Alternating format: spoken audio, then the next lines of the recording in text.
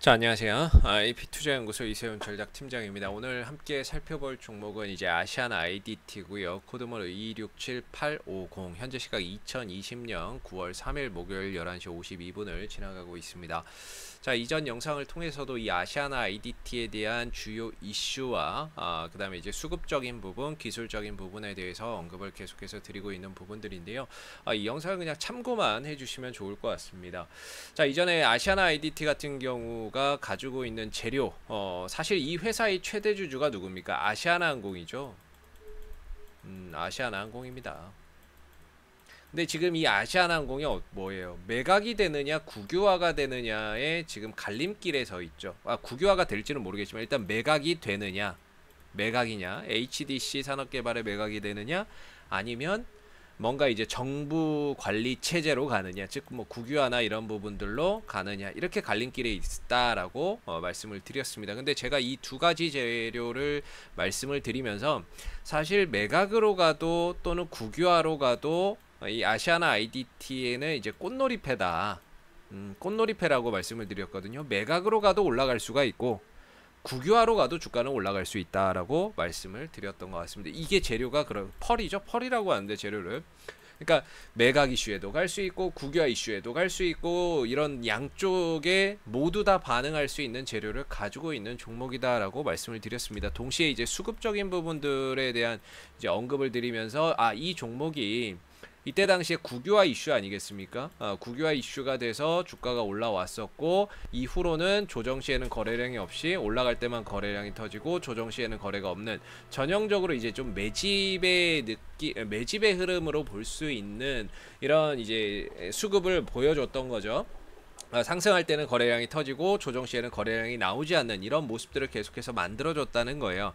그런 상태에서 이제 수급은 계속 남아 있었던 상황이었고 결국에 이제 오늘 이 이슈가 터졌네요. 예. 아시아나 매각 결렬 이르면 이번 주 계약 해지 통보 그럼 뭐죠 매각이 안 되면 어, 결국에 다시 국유화 가능성이 거론이 될 수가 있겠죠 이 종목이 처음 상승했을 때는 국유화 때문이었습니다 그죠 국유화 이슈 때문에 올라왔었고 매각되느냐 국유화되느냐에 따라서 오르락내리락 하다가 결렬되니까 또다시 주가가 급등 나오는 어, 이런 상황으로 가고 있죠. 오늘의 상승이 중요한 이유 중에 하나는요. 이 전고점을 뚫어주면서 오늘 거래량이 늘어나고 있다라는 거에 우리가 좀 주목을 해서 봐야 된다라고 말씀을 드리도록 할게요. 어제 전 고점이라고 할 수 있는 22,500원을 넘어섰거든요. 어, 지난번에도 한번 넘어섰는데 넘어서고 하루 만에 밀려가지고 어, 오래 지키지를 못했는데 어제 넘어서고 오늘도 거래량이 터지면서 올라오는 건 우리가 일단은 긍정적으로 봐야 됩니다. 주가가 올라갈 때는요. 거래량이 터지면서 꾸준히 증가되면서 올라가야 이 상승에 대한 신뢰도가 높다라고 어, 말씀을 드릴 수 있어요. 그래서 거래량이 어제보다 오늘 늘고 이거보다 이전에 터졌던 이 거래량보다 더 많이 늘어난다면 훨씬 더 좋은 흐름들을 기대를 해볼 수 있다. 아, 이렇게 보시면 좋을 것 같고요. 만약에 전 고점 이, 이 정도의 거래량을 터트리지 못하더라도 어, 어제보다 오늘 어, 이렇게 해서 계속 거래량이 늘어나면서 올라가고 있는 부분들은 상당히 긍정적으로 우리가 어, 볼수 있다라고 보시면 되겠습니다. 결국에 상승하면서 거래량 또 터지는 거잖아요. 그래서 이제는 뭐, 둘, 뭐 이거죠. 매각이 되는 거는 글렀고, 그러면 이제 국유화 가능성이 또다시 누군가의 입을 통해서 거론이 된다면, 어, 누군가의 어, 입을 통해서 어, 다시 뭐 아시아나항공이 국유화라고 하는 이런 단어만 한번 어, 거론이 된다라고 해도 이 종목은 아마 뛸 겁니다. 어, 일단 매각은 어, 실패를 했기 때문에 아니면 새로운 쪽에서 또이 회사를 인수하겠다고 들어오는 어, 업체가 있으면 되겠죠. 회사가 하나 있으면 되겠죠. 아시아나 그러면 내가 인수하겠습니다 하고 들어오는 회사가 있으면 되는데 어, 그게 쉽지가 않다라는 거예요. 왜냐면 코로나 사태 때문에. 코로나19 때문에 항공산업에 대한 이런 불확실성, 사업에 대한 불확실성이라서 이거 뭐 한두 푼 들어가는 것도 아니고 수조 원이 들어가는 이런 기업들 인수에 섣불리 나서지 못할 가능성이 있다라는 거죠. 그렇게 되면 이제 국유화 가능성으로 계속해서 어 분위기나 이 방향이 흘러갈 수밖에 없겠죠. 그럴 때마다 아마 어 누군가의 입 에서 뭐 국유화 가능성 이야기 나올 때마다 아마 아시아나 아이디들은 계속 움직일 겁니다. 어, 그래서 지금은 일단 뭐 전고점도 넘어갔고 역시나 이전에 강한 저항이었던 22,500원대가 돌파가 된 시점에서 앞으로 이 자리는 저항이 아닌 지지 라인으로 보시면 될 것 같습니다. 이제는 요 가격이 지지 라인이다. 22,500원 자리가. 어, 22,500원짜리가 강한 지지 라인이고 설령 주가가 쉬어간다 하더라도 22,500원에서 지지를 보일 가능성이 상당히 높은 어, 흐름이 될 것이다 라고 보시면 되겠습니다. 자 오늘도 뭐 예, 오늘의 상승은 전고점을 좀 돌파를 하면서 안착하고 거래량이 또 터지는 데 의미를 두시면 좋을 것 같고요. 앞으로 또 국유화 가능성이나 이런 것들 거론될 때마다 아, 움직일 수 있기 때문에 앞으로도 또 좋은 흐름들을 한번 기대를 해볼 수 있을 것 같아요.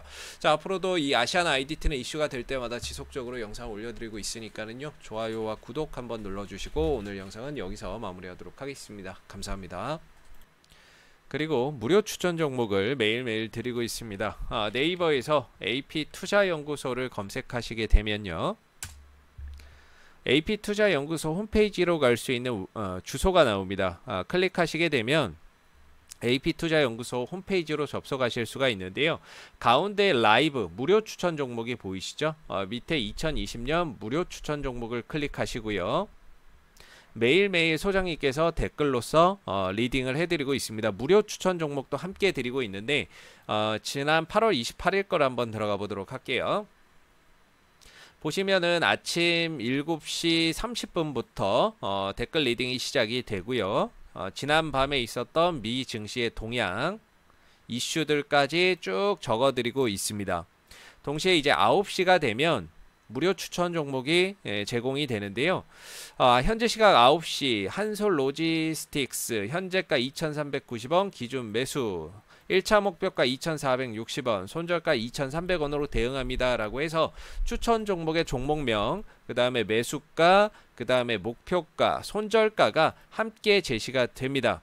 그래서 상승하게 되면은 상승한 부분에 대한 목표가 도달 아, 댓글 leading을 계속해서 해드리고요. 만약에 하락했을 경우에는 하락하는 부분에 대한 손절 아, 댓글 리딩도 함께 해드리고 있기 때문에 추천 종목이 필요하신 분들은 홈페이지에 오셔서 많은 도움 받아가시면 좋겠습니다. 감사합니다.